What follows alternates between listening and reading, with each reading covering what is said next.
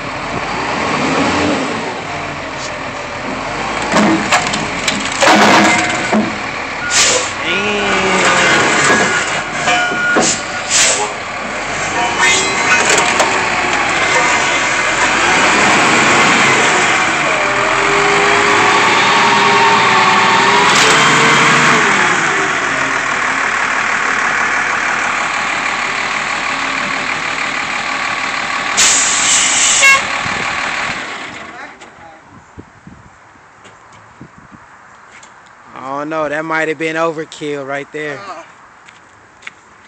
Nah, man.